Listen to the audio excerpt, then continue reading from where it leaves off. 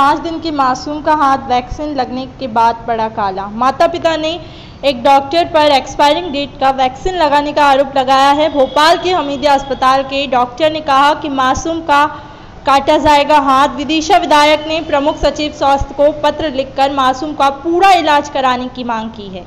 विदिशा जिला अस्पताल में डॉक्टरों की लापरवाही ने एक बार फिर माननीय संवेदनाओं से भरे ए हुए चिकित्सक के पेशे को शर्मसार कर दिया है। 26 अगस्त को पैदा हुए मासूम शिशु के इलाज में लापरवाही के चलते उसका हाथ काला पड़ गया और अब उसकी ज़िंदगी बचाने के लिए हाथ का अलग किया जाना ज़रूरी है।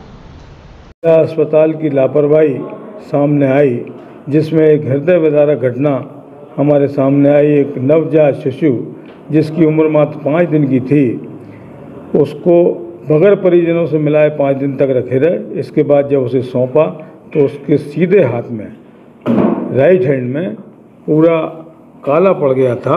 ये जिल, जिला अस्पताल के प्रशासन की लापरवाही है। मैंने तुरंत पीएस महोदय को इस मामले में पत्र लिखकर उनके संज्ञान में लाया और विदिशा कलेक्टर ने भी इसको संज्ञान में लिया है। भोपाल में उस बच्चे का इलाज के लिए प्रबंध किए गए हैं लेकिन मेरी ये मांग है कि जिला अस्पताल के लोगों की लापरवाही की वजह से अगर उस बच्चे का भविष्य खराब हो गया तो सरकार को उसे गोद लेना चाहिए।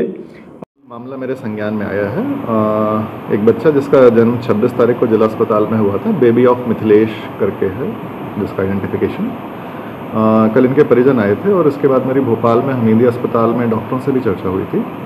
आ, अभी इसका जो हाथ है राइट साइड का हैंड जो पोर्शन है हथेली के आसपास का, थोड़ा सा कलाई का, वो नेक्रोसिस हो गया है तो उसमें हो सकता है उसको हटाने की ज़रूरत पड़े। चूँकि एरिया डेड हो चुका है तो उसके हाथ के बचने के चांसेस कम हैं।